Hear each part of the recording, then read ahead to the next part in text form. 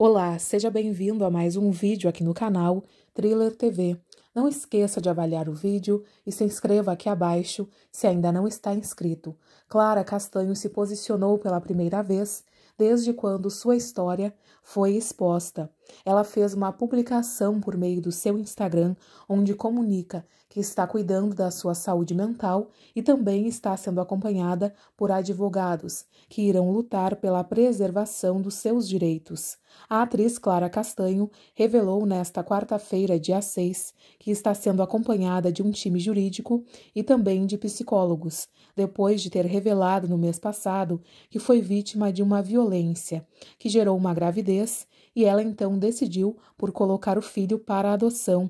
Clara Castanho falou sobre o assunto em uma carta aberta, publicada também nas redes sociais, na qual agradece algumas manifestações de apoio que vem recebendo. Abre aspas. Os últimos dias não foram fáceis, mas eu queria vir aqui para agradecer por cada palavra de amor, de afeto e de acolhimento que eu recebi e venho recebendo.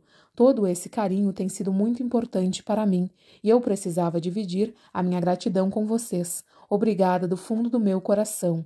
Eu sei que muitos de vocês estão preocupados comigo, mas quero dizer que estou me cuidando, fazendo acompanhamento psicológico e sigo cercado de profissionais que estão trabalhando para a preservação dos meus direitos. Quero agradecer à minha família, aos amigos, aos colegas de profissão, aos fãs que me acompanham e também à imprensa séria e responsável que vem me respeitando durante esse momento, fecha aspas, declarou a atriz. Antes desse primeiro post, Clara já vinha agradecendo manifestações de carinho em comentários no Instagram.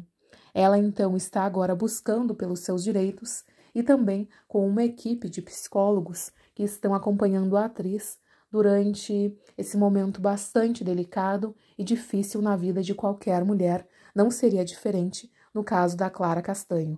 Chegamos ao final de mais um vídeo. Não esqueçam de avaliar o conteúdo, compartilhem se puderem e deixem aqui abaixo também um comentário com a sua opinião. Tchau, tchau e até a próxima.